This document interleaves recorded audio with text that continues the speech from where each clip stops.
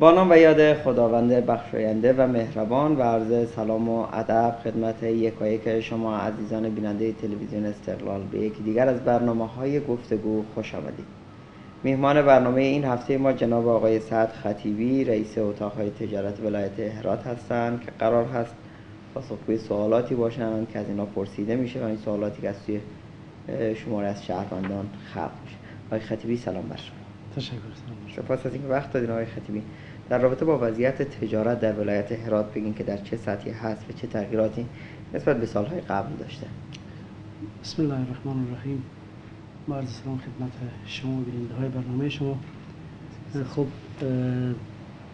همینطوری که در ولایت دیگه افغانستان وضعیت کاربارهای اقتصادی تقریبا دو سه سال میشه رونق نداره. هرات هم یک از ولایت افغانستان به وجود که هرات یکی از ولایات کلیدی افغانستان که دو مرز با دو کشور ترکمنستان و ایران داره و حجم تجارتش همیشه بالا بوده. روزانه در حال حاضر حدود بین 700 تا 800 کنتینر کالای تجارتی از مرز ترکمنستان و ایران وارد هرات میشه.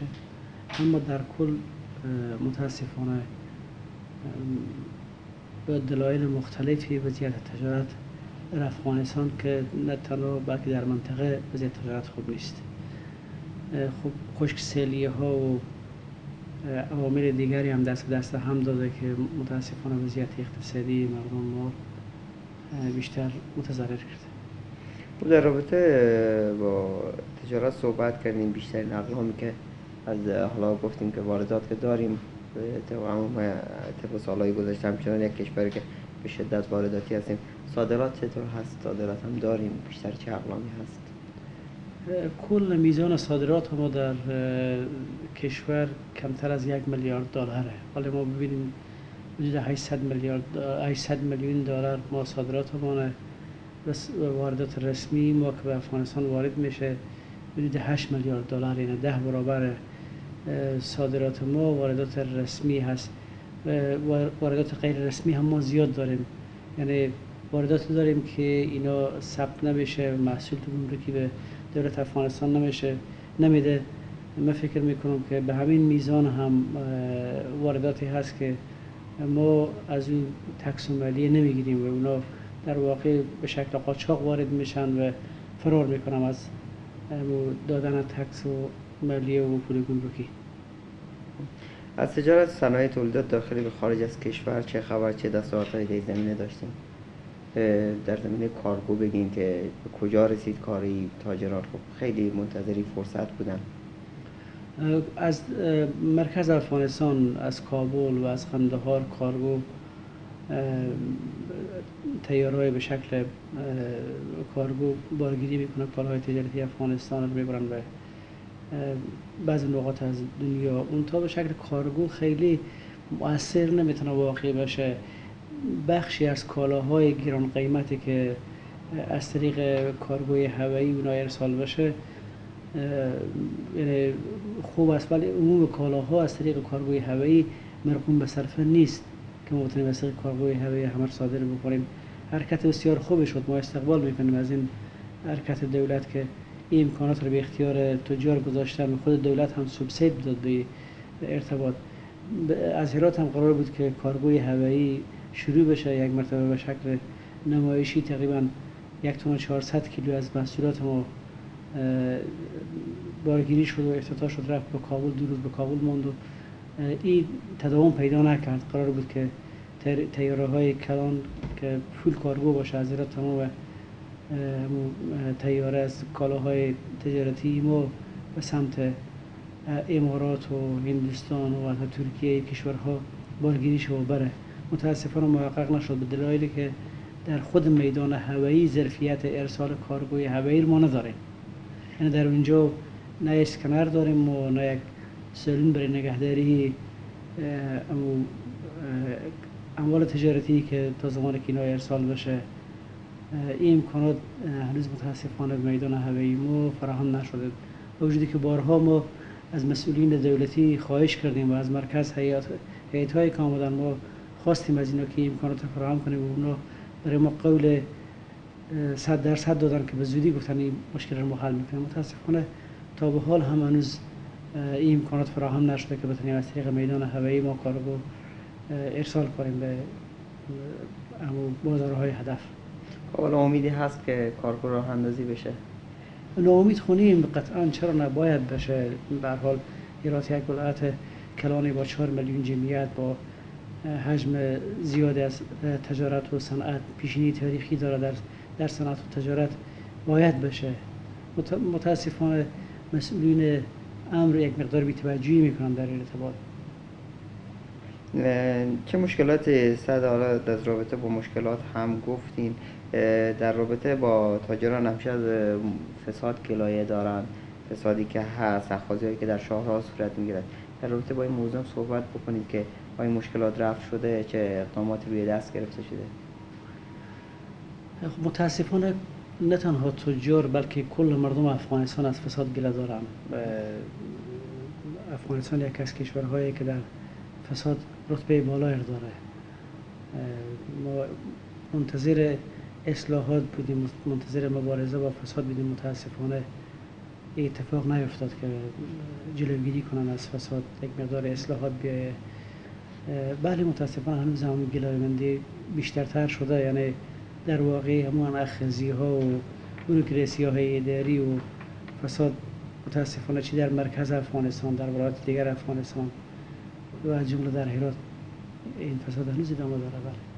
خب بارها در همین دفتر شما در همین اتاق شما تاجرها جمع شدن کسانی که اقلام تجارتی وارد کشور می‌کردن بعضی موضوع گلایه کردن و شما قرار بود نشست با مسئولات چه در سطح محلی چه در سطح مرکزی داشته باشین.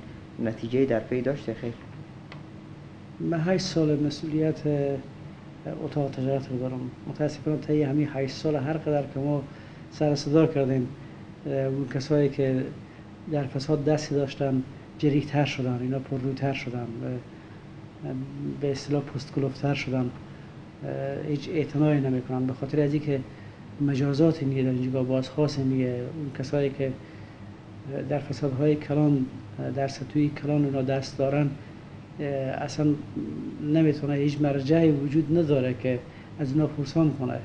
چون افراد کلیدی هستن که یعنی توان هیچ کس قانون هم اونا کار کرده نمی‌تونه و این در سطح افغانستان روز بروز می‌بینیم که بیشترتر میشه و کلامتر میشه.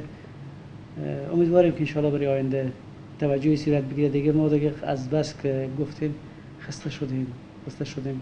یعنی صدای ما کسی تاسفانه آنطوری که ما انتظار داشتیم. نشوید خب عوامل مختلفی ناامنی ها هست در کشور. دیگه ضعف حکومت در ارتباط هست.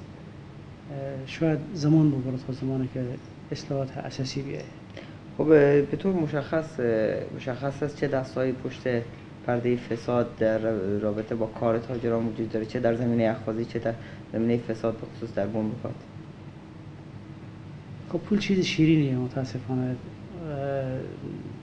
وقتی که در یک جامعه بازخواست نباشه همه علاقه مندم که پولدار باشن از جمله یک کارمند حکومتی هم دل می‌خواه کسی پولدار بشه. دستا مشخص آدم های خاصی نمی‌تونیم با اشاره کنیم به که همین فلانی و فلانی هستن افراد خاصی هستن. و هر کس فرصتی مساعد شده استفاده خود کرد. درسته.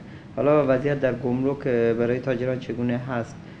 خیلی از تاجران گلایه دارن از اینکه اجناس آنها در گمرک مدت زمان طولانی میمونه و بعضی از این اجناس ممکنه که فاسد بشن. روندی روی دست هست که تاجران بتونن راحتتر اجناس خود وارد کشور بکنن و دغدغه کمتری داشته باشن. بعد از اینکه گمرک هرات از هرات منتقل شد به اسلام قلعه اما حجم کار به اسلام قلعه زیاد شد و امکانات زیربنایی هم در گمرک اسلام قلعه بود. مدت مشکلات زیاد بود. به فضل خدا ولی مشکلات کمتر شده. تلاش ها صورت گرفته آرام آرام. اما امکانات در اونجی بیشترتر میشه و تجربه کارکنایی که در گمرک میرن روز بروز بیشتر میشه به محیط. و این مشکل کم شده.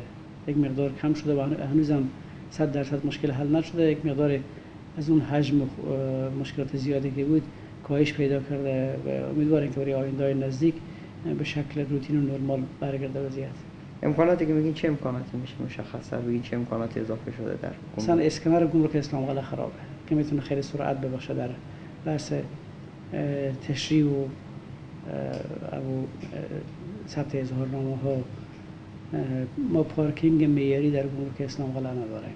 دولت بعد سپرده که آرام آرام پارکینگ رو جور کنه.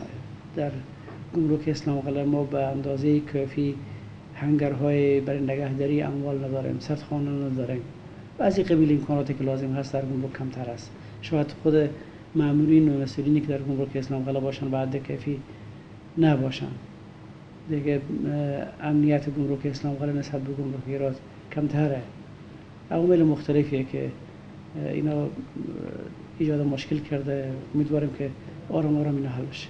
خب در رابطه با فساد هم صحبت کردین. آیا فساد تنها در گمرک هرات و در مسیر شاهراه ها وجود داره به خصوص در خوزه یا نه؟ در دیگر ادارات هم که تاجران با اونا درگیر هستن فساد وجود داره؟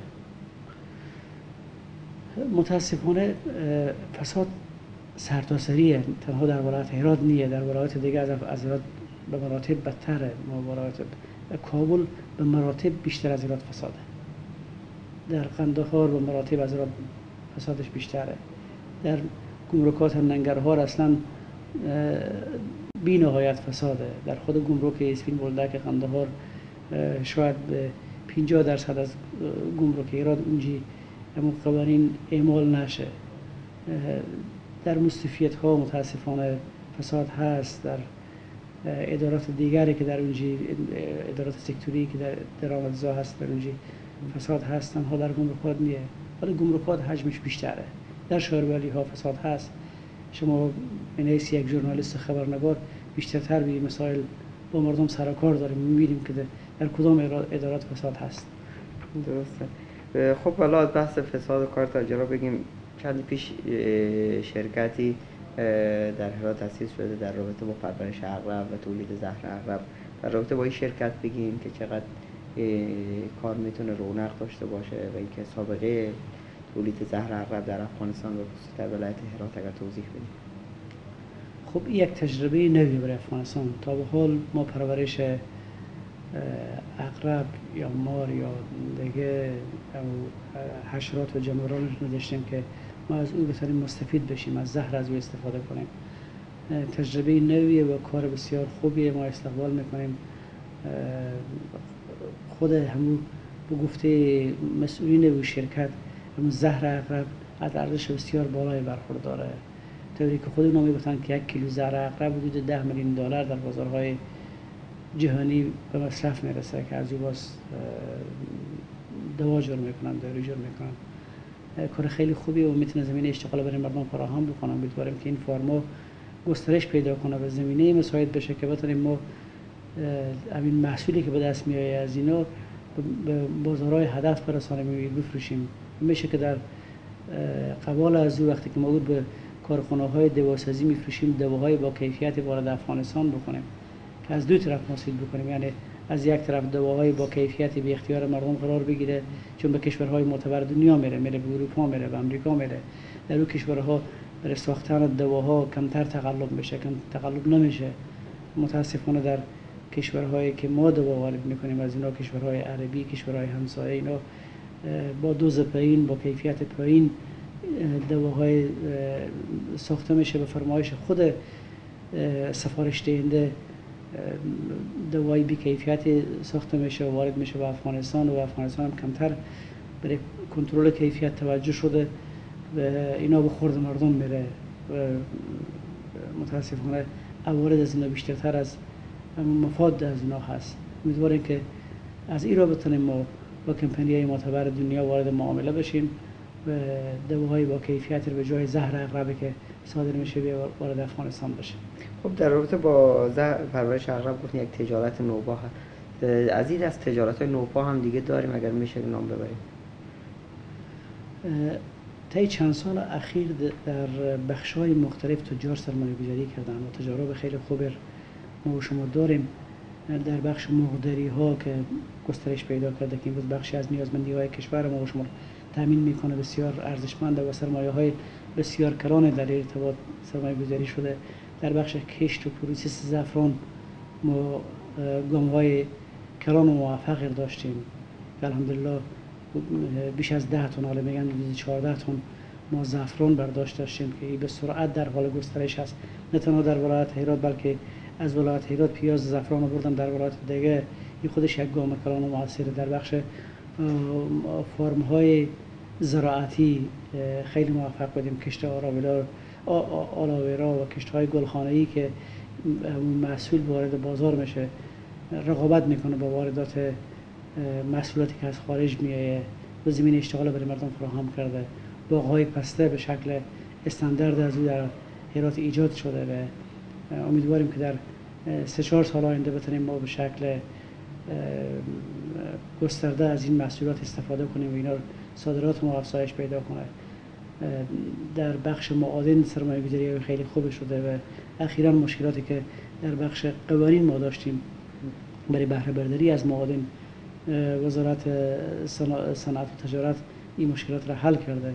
گام های موثر برداشته شده و در خیلی از اما برنامه های تجارتی و صنعتی تجار توجه می‌کنم و تجارب نوی بیرون از افغانستان به داخل افغانستان میارم تشکر.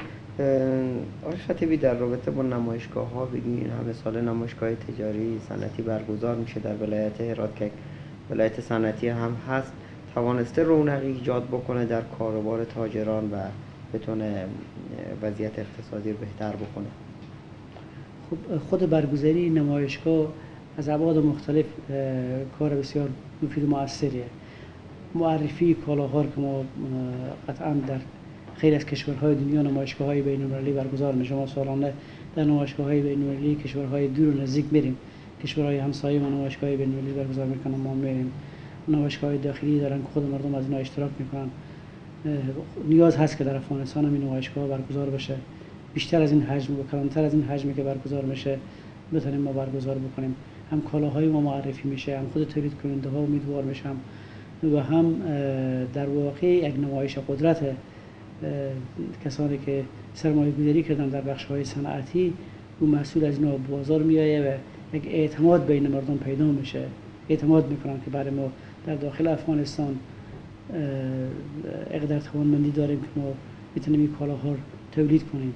یعنی برای همو اعتماد روحی مردم خیلی گذار هست و توجه دنیا رو جلب می‌کنه. به همیشه از دریچه رسانه ها متاسفانه شما رسانه ها به اخبار بد را میشه گزارش می‌کنیم. کمتر به اخبار خود توجه می‌کنیم. دنیا ما از دریچه رسانه ها می‌بینن تجار کشورهای دیگه ما از دریچه رسانه ها می‌بینن. وقتی که ببینم که در داخل افغانستان کارهای مفید و موثری هم غیر از جنگ اینجی میشه یک مردم پویا و زنده هستن در اینجی تولید دارن در اینجی تجارت دارن آبادی دارن ساختمانسازی دارن. خب نام متوجه میشن. حالا شاید کمپنی های کلان دنیا دیشب ما نمایندگی کمپنی شیر را در راد افتتاح کردیم. و در همه هفته گذشته ما میزبان وزیر صنعت و تجارت بودیم.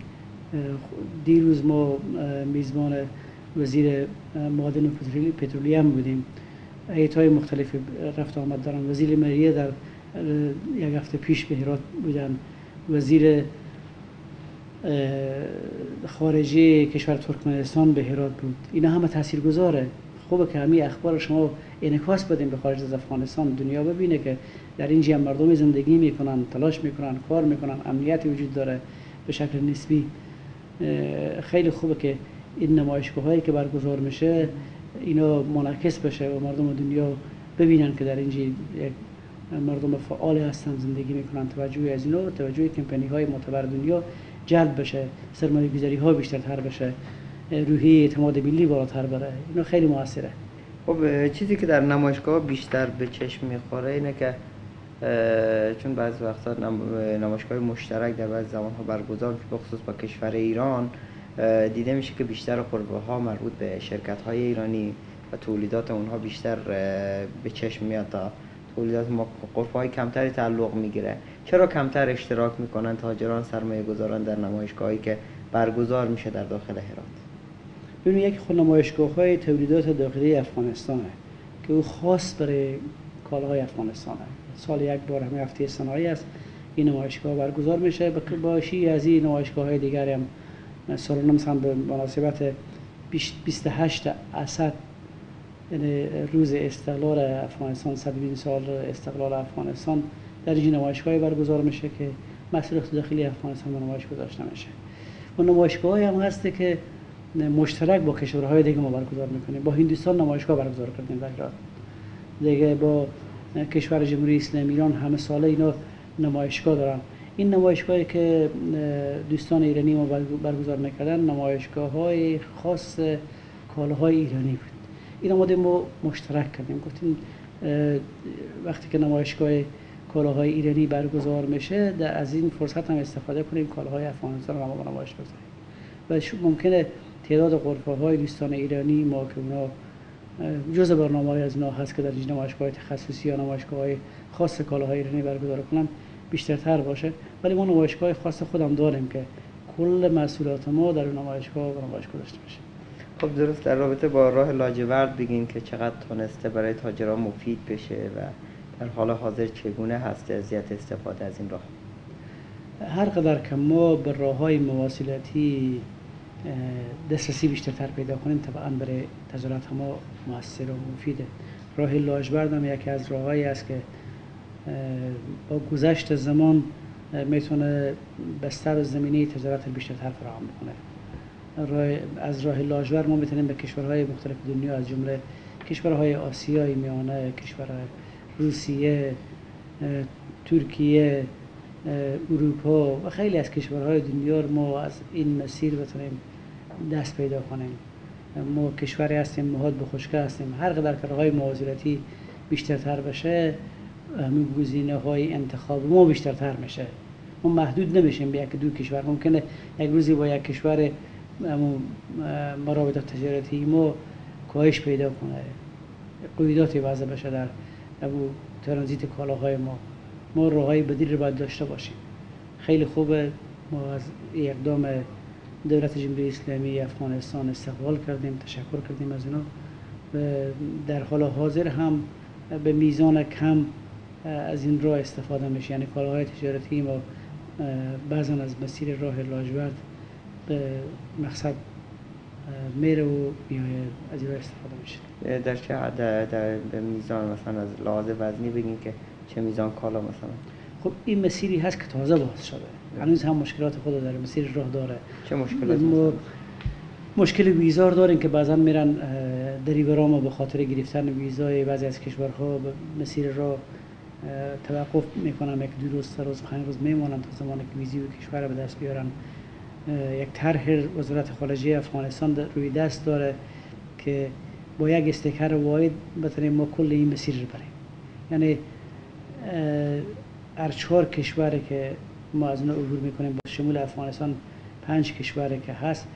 این پنج کشور هر کشور داخل خود وزارت خارجه خود برای اتباع خود. ویزا بده با همون استیکر که از وزارت خارجه او کشور داده میشه بتونه کل مسیر دریور ما یا تاجر ما برن یعنی به کل پنج کشور با یک ویزا و یک استیکر واحد اینا بتونن برن و تجارت برن در کشورهای دیگه دنیا قطعا داره. بنابراین آرام آرام مشکلات کم میشه تسهیلات بیشترتر فراهم میشه. انشالله می‌تونیم ما استفاده خوبی از مسیر بکنیم. خب آخرین سوال هم می‌پرسم. چندی پیش ریاست ترانسپورت هرات استاندارد TIR از رونمایی کرده ولایت هرات. چقدر مفید هستی استاندارد برای رانندگانی که در ترانزیت بین المللی تردد می‌کنند ما از سالهای متمادی سالهای گذشته ما عضو کنوانسیون TIR بودیم. متاسفانه همون ظرفیت وجود نداشت که ما بتونیم از این مزایای ارزشمند استفاده کنیم. خیلی خوب شد که در سال گذشته ما تونستیم که عملا استفاده کنیم از این فرصت. و همین موتورهایی که از مسیر راه لاجورد هم میرم از همین به مزایا استفاده می‌کنن و با اون اسناد تی آی آر این کشورها رو عبور می‌کنن. این حال از چی از مسیر ایران ما و چی از مسیر کشورهای رای لاجورد بخشی از همون تجارت ما که هست ترانزیت ما که هست ما می‌تونیم از اسناد تی آی آر استفاده کنیم و خیلی هم مفید و مؤثر هست. درسته. تشکر از شما. خب بینندگان عزیز این بود برنامه گفتگوی این هفته ما که میهمان ما جناب آقای سعد خطیبی رئیس اتاق تجارت ولایت هرات بودن در رابطه با بخش مختلف تجارت در ولایت هرات مشکلاتی که فراری تاجران هستند برنامه هایی که روی دست هست برای رفع مشکلات صحبت هایی را داشتن که با هم دیدیم و شنیدیم. تا هفته بعد به برنامه دیگر همیشه ما رو به خداوند پاک و بینیاز بسپاریم خداوندی ها رو نگهدارتون.